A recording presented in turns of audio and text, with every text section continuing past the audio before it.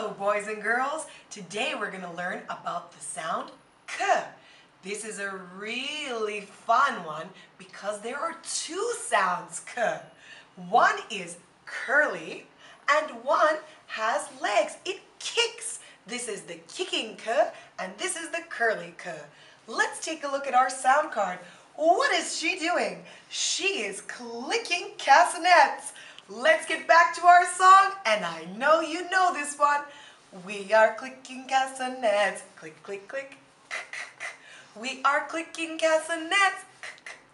We are clicking castanets. Now, let's take a look. I see k k k cats. I see a k k k castle. And of course, she has castanets. How do we make this letter k? The curly k is really easy. Let's take a look. Now, the important part of the curly k is that it's small. It always stays below the line. Up, up, up, up, up, and around, and stop.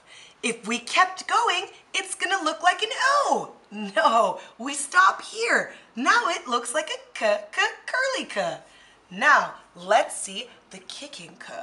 We start at the top. We go down all the way.